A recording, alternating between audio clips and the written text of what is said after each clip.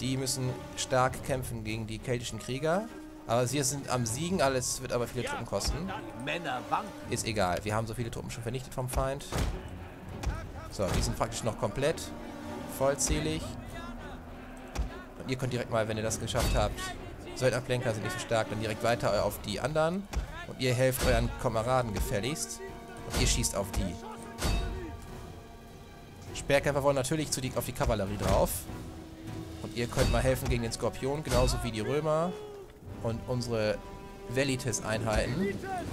Ja, hier kommt von hinten die Speere drauf, während die versuchen, unsere Kavallerie abzufangen. Das wird aber nicht klappen, weil wir sehr, sehr starke Fernkampfeinheiten haben. Der Feind versucht uns zu umrunden. In einem pseudo-verrückten Manöver. Und ich muss erstmal unsere Schlacht reinordnen. Da sind Adelspeerkämpfer. Hört doch auf diesem scheiß Rumgehüpfe hier.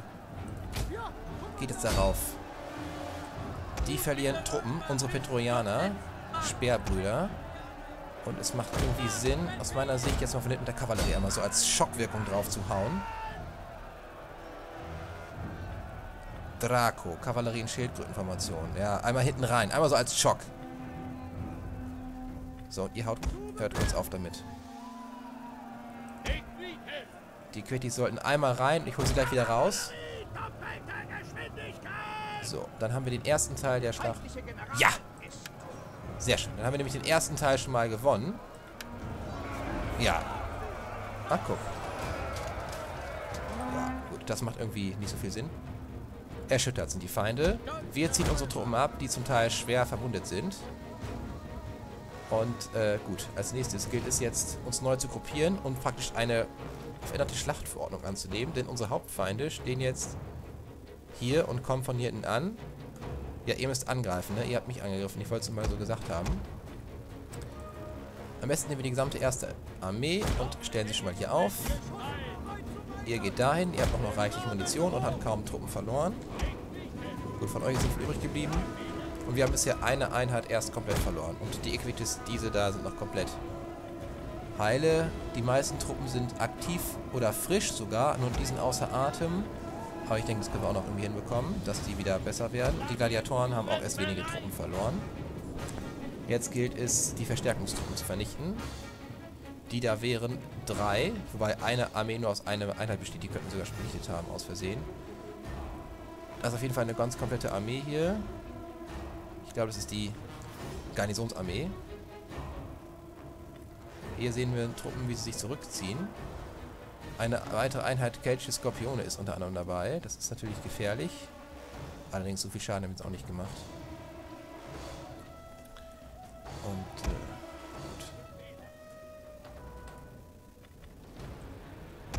gut. Gut, erstmal aufstellen. Das dauert. Ich lass mal kurz einen Vorlauf machen.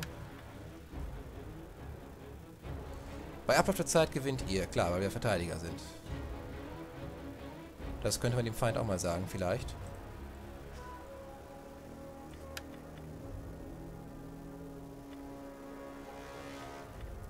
Die Truppen stehen weitestgehend. Ja, stimmt. Eine Einheit Velites haben wir auch noch verloren. Gut, so. Durchatmen, weiter geht's. Da müssen wir jetzt eben vorrücken. Wir wollen auch nicht, dass es ewig dauert hier.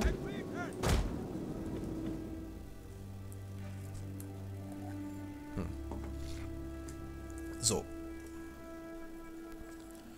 Der Feind positioniert sich klug auf einem Hügel. Das ähm, kennen wir ja inzwischen von der KI. Und er greift an, das hört man schon. Er ist ja Trompete.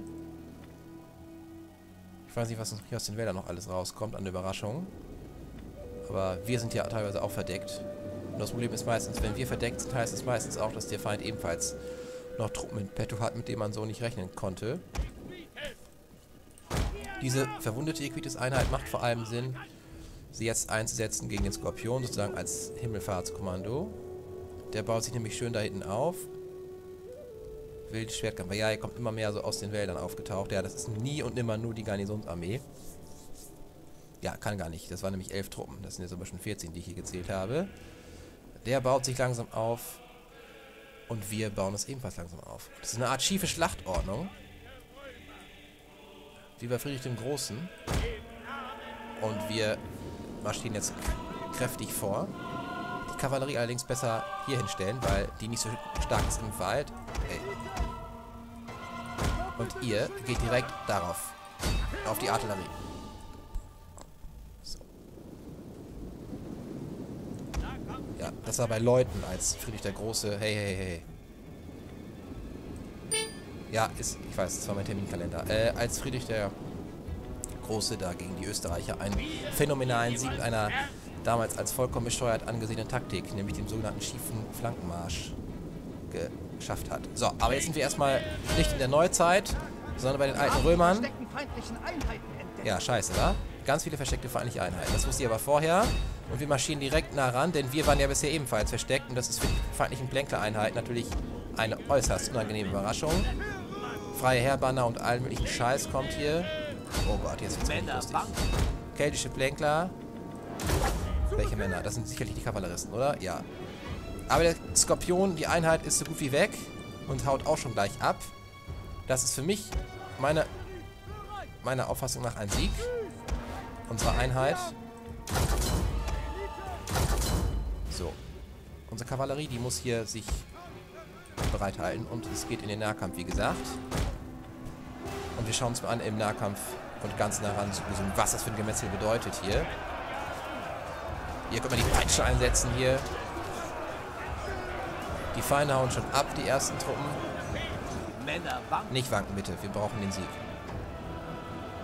Was ist für eine Einheit? Welche wankt? Hier mittendrin. Ah, das ist gefährlich. Okay, Verstärkung rein. Nackte Speerkämpfer. Wir setzen die Peitsche ein. Gewinnen wir hier wenigstens. Das geht gegen Steinschleuderer und die gefährlichen wilden Schwertkämpferer. Die Gladiatoren haben gut gekämpft, aber sind auch schon fast ausgemerzt. Ihr könnt euch mal auf die Steinschleuderer stolzen. Und ihr geht am besten von hinten irgendwie da rein. Die sind so gut wie tot gleich. Männer wanken. Ja, egal.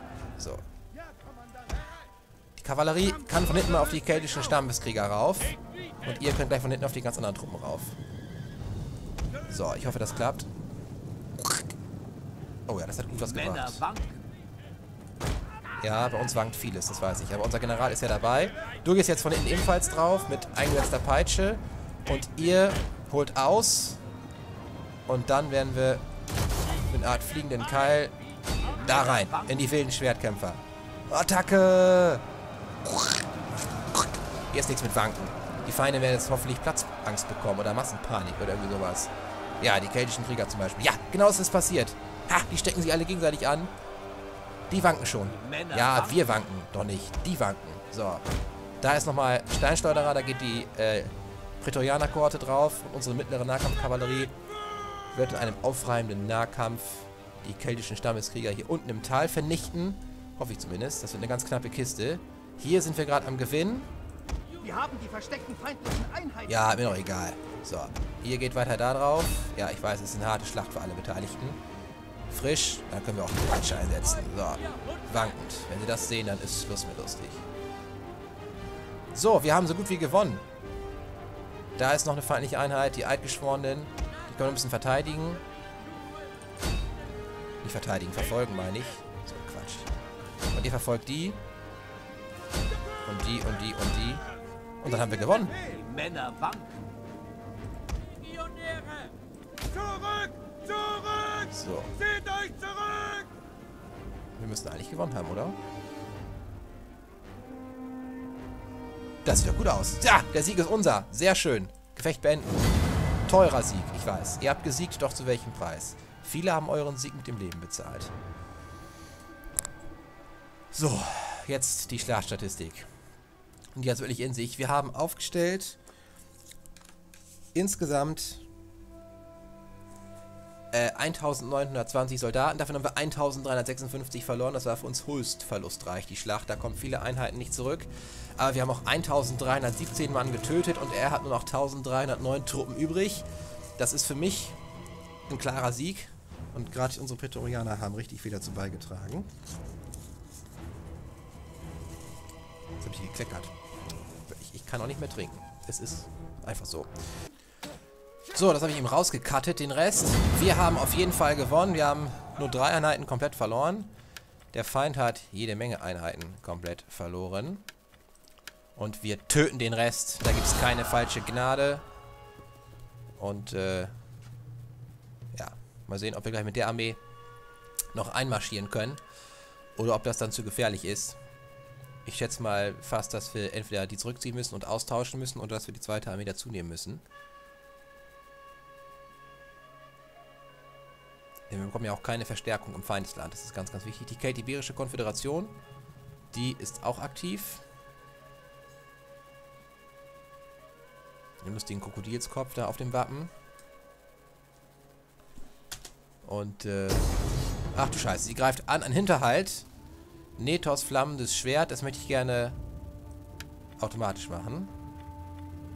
Siegchance ist hoch und wir machen es mal in ausgleichende Stellung, auch wenn wir dadurch viele Truppen verlieren. Das ist mir egal, wir gewinnen. Ja, ist ja gut.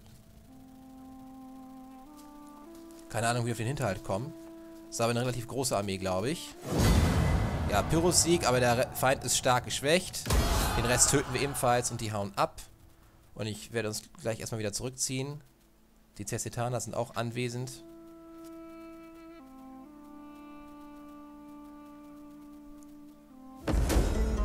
Die Ibdani fordern eigentlich Angriffspakt. Das können sie machen, aber ich werde nicht drauf eingehen.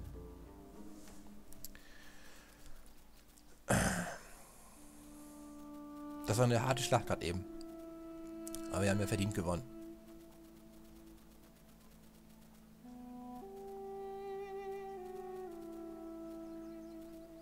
Sozusagen die Ruhe nach dem Sturm jetzt. Dass die Kate Ibera gleich mit uns gekämpft haben, war natürlich auch ein bisschen doof, aber ich schätze mal, dass wir die besseren Verstärkungsraten haben. Wir haben auch einfach das Riesenreich mit der besseren Wirtschaft. Da können wir uns auch mal eine Niederlage erlauben oder eine hohe Verluste. Äh, es macht nichts, das verzögert alles nur ein bisschen, aber wir haben ja unsere Verbündeten und so weiter und so fort. Und jetzt wollen wir mal gucken, was passiert ist.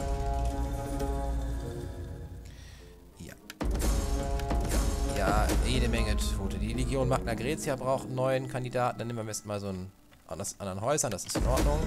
Und die siebte Legion Belgica braucht einen anderen, dann nehmen wir den, der ist etwas besser. Und die zehnte Legion Hispanien, der, da können wir nur noch den nehmen. Und, äh, gut. Verborgener Agent entdeckt, die Senorix.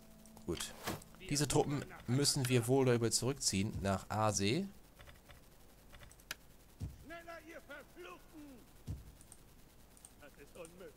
Wieso kommt ihr nicht weg da?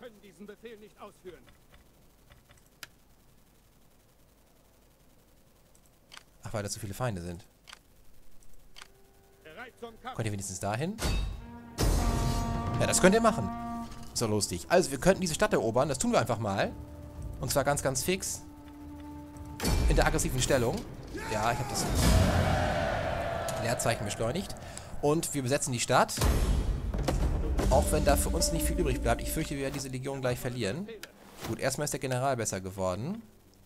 Werd mal am besten... Ah, hat er diese Spezialfähigkeiten. Infanteriekommando ist gut für jemanden, der vor allem Infanterie befehligt. Und äh, wir können sogar die Truppen noch aufrüsten. Was ist denn das für eine schöne Munition der Stufe 1? Aha, zwei Punkte Munition mehr. Gut, also wir halten jetzt die Stadt Numancia als dritte Stadt von Carthagensis. Das passt also ganz gut, weil Carthage und Ase ebenfalls von uns gehalten werden. Und äh, die Kelt Iberer sitzen hier, die Cersetaner haben auch Truppen. Und wir müssen genau aufpassen, äh, mit wem wir uns hier jetzt anlegen, denn die ist natürlich jetzt extrem gefährlich. Die Volzee sind da und so weiter und so fort. Ich hoffe, dass wir das umrüsten können. Schreien Schreinskopita selbstverständlich. Das rüsten wir ab. Und ansonsten gucken wir mal, was hier passiert ist. Also, wir haben nicht mehr so viele Truppen übrig, das weiß ich selbst. Da ist kaum noch was übrig. Das ist ohnehin sehr schwach. Und das ist noch eine recht starke Armee.